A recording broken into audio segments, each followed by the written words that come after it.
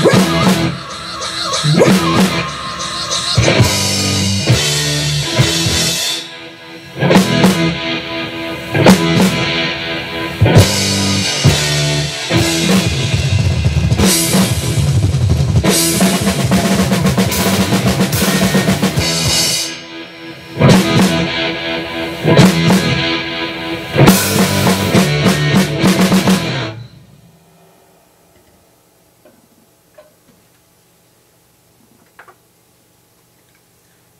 Anthem of the Heart and Anthem of the Mind.